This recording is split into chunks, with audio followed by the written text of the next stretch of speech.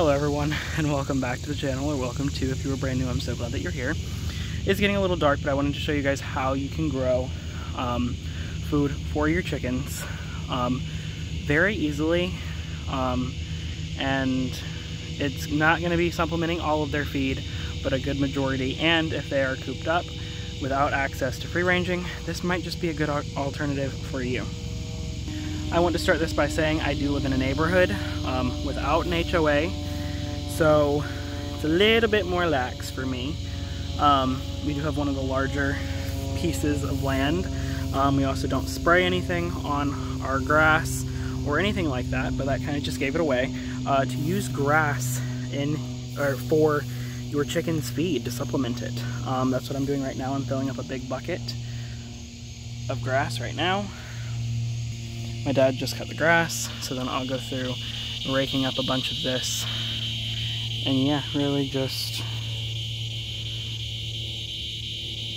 um, using what I can, um, when I can, how I can, um, all of that um, definitely helps to supplement feed. Um, I'm throwing all of this in there at night, and tomorrow I have to be up incredibly early, so I'm not going to be able to feed them tomorrow morning. They're going to have feed on it, um, make sure of that tonight. But this is going to supplement most of their feed for tomorrow anyways. So it's not really that big of a deal for me because I can go through and rake up some stuff the night before, especially when we let the grass get a little too long, and we can easily have chicken feed for the next day. Um, now it's not feed, it's not going to be a bunch of calcium or anything they need, so they would still need a calcium supplement. Um, they do make just straight calcium bags, or bags of calcium, um, so I would implore you to look at that if this is something that you're doing. If they're free ranging also and you haven't been getting as many eggs, um, they might have either started laying somewhere or they're just not getting enough calcium um, in their diet. So yeah, that's one thing that you can do. Um, going through, getting that, um, a bunch more chicken health tips and chicken tips coming your way very, very shortly. So thank you guys for watching um, this part of the vi this video and I hope to be sharing more videos, short videos like this, um, just how you can keep your chickens um, well fed and well entertained, happy and healthy. So thank you guys for watching and I'll see you in the next video. Bye y'all.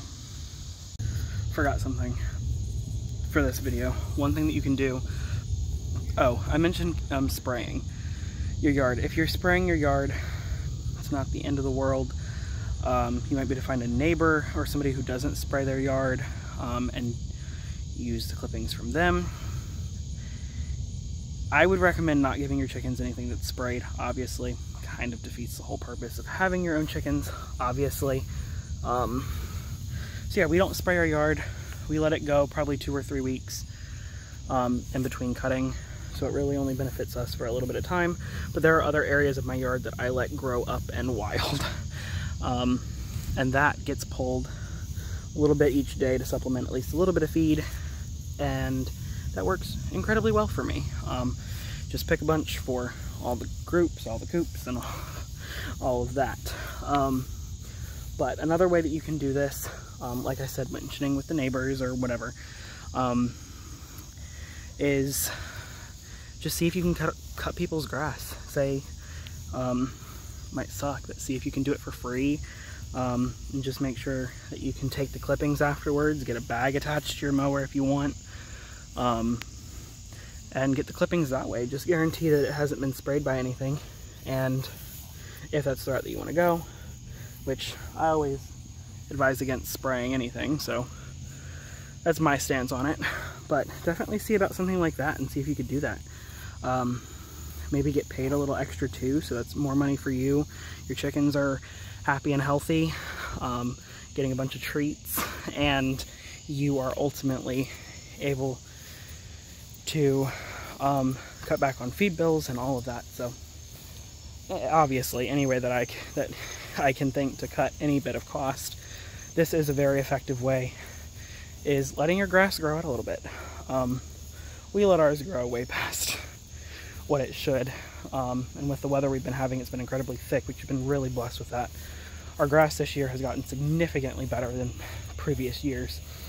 Um, not really because of my maintenance, but just because of different things. So Um, anyways, that was just something that I thought to add on to the end of that video or this video. But thank you guys so much for watching. If you have any questions or tips or anything like that, please leave them in the comment section below. I'll be sure to get back to you in a comment or if it's something that warrants a greater response in a comment and then make a uh, larger video if that's what it warrants. So thank you guys so much. There are so many other uses for grass clippings, but we'll go over all of that later on. So thank you guys for watching this video, and I will see you guys in another one. Until then, y'all stay good, stay blessed, and yeah, do something, uh, be 1% better than you were yesterday. Bye, y'all.